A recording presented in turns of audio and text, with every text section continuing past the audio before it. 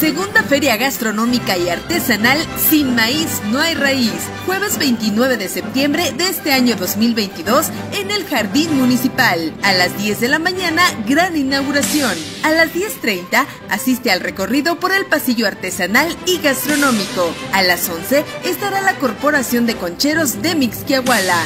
A las 12 disfruta de la música de Trivi y su banda Mifi. A la 1 de la tarde, expo de semillas de maíz nativas y herramientas antiguas de labranza. A las 2 de la tarde, expo de tractores y de juegos tradicionales.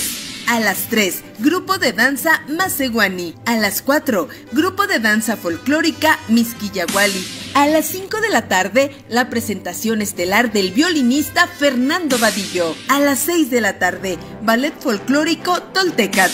A las 7 disfruta del ballet folclórico de maestros de Francisco y Madero. Y a las 8 de la noche, Los Atrevidos. Segunda feria gastronómica y artesanal Sin maíz no hay raíz. El maíz, regalo de la madre tierra y base de nuestra tradición alimentaria.